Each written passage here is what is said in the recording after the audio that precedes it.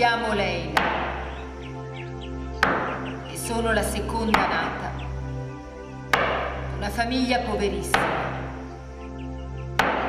Se sono viva, lo devo a mia madre, che non ha avuto il coraggio di uccidermi, come le aveva imposto la famiglia.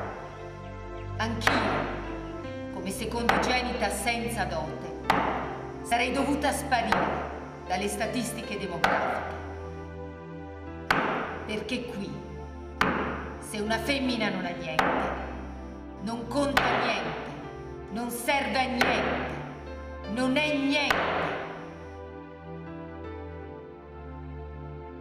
Non potendo contrarre matrimonio alcuno, unico futuro per gli esseri umani di sesso sbagliato di cui io faccio parte.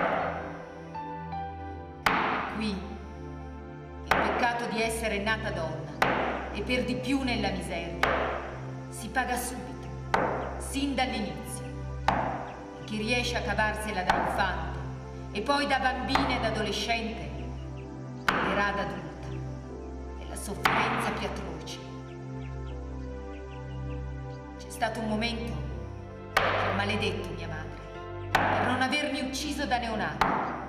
Almeno allora sarei passata dalla nascita alla morte, senza subire la condizione umana della consapevolezza e del dolore.